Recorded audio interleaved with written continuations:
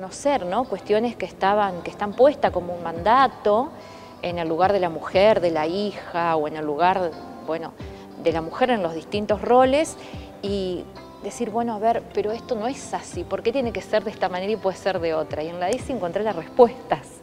Entonces, esto, em, eh, la verdad que me ha llenado de mucha, bueno, tranquilidad por un lado, porque, eh, digo, está bien, es por ahí, y por el otro lado también de, de poder sentir seguridad, ¿no?